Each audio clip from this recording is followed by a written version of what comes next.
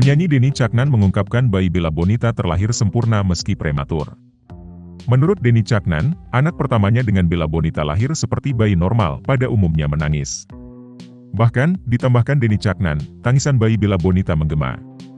Akan tetapi anak Denny Caknan harus dirawat di ruang khusus karena Bella Bonita melahirkan lebih awal dari jadwal. Bella Bonita melahirkan akan pertamanya dengan Denny Caknan hari ini, Senin, 5 Februari 2024, pagi. Istri Denny Caknan melahirkan di Rumah Sakit Husada Utama, Surabaya, Jawa Timur. Kondisi anak pertama Denny Caknan dan Bella Bonita kini jadi sorotan.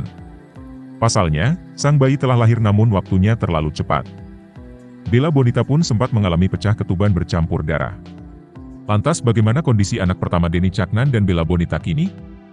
Dikutip dalam Instastory Bella Bonita underscore R, A, Senin, 5 Februari 2024, Bella pun menjelaskan kronologi sebelum putrinya dilahirkan ke dunia.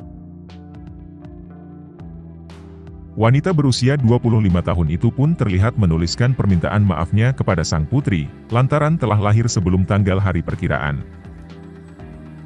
Bahkan, diakui Bella, ia pun juga tak mengalami proses pembukaan kelahiran sama sekali. Maafin mama ya sayang, belum waktunya dan gak ada pembukaan sama sekali, ujar Bella. Mirisnya, Bella pun mengalami pecah ketuban pada pukul 2 dini hari, yang sudah bercampur dengan darah. Tiba-tiba air ketuban pagi tadi jam 2 keluar campur darah, lanjutnya. Istri dari pelantun satru tersebut berujar bahwa dirinya tidak merasakan kelelahan pada tubuhnya. Mama gak ngerasain kalau adek kecapean, tandasnya.